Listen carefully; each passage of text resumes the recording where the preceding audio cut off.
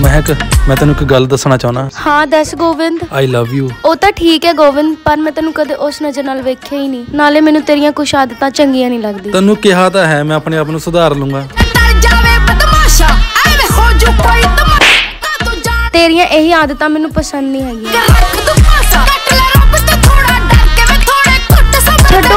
ਛੱਡੋ, ਮੈਨੂੰ ਕਿਉਂ ਬੰਨਿਆ ਇੱਥੇ? ਮੇਰਾ ਗੋਬਿੰਦ ਆਉਂਦਾ ਹੀ ਹੋਣਾ, ਫੇਰ ਦੇਖਿਓ ਤੁਹਾਡਾ ਕੀ ਬਣਦਾ। ਕੁਰਸੀ ਦੀ ਹਾਲਤ ਦੇਖ ਰਹੀ ਹੈ ਪੰਜਾਂ ਕੁ ਮਿੰਟਾਂ 'ਚ ਤੇਰੇ ਆਸ਼ਕ ਦਾ ਵੀ ਇਹੀ ਹਾਲ ਹੋਊਗਾ। ਆਉਣ ਤਾਂ ਦੇ ਉਹਨੂੰ।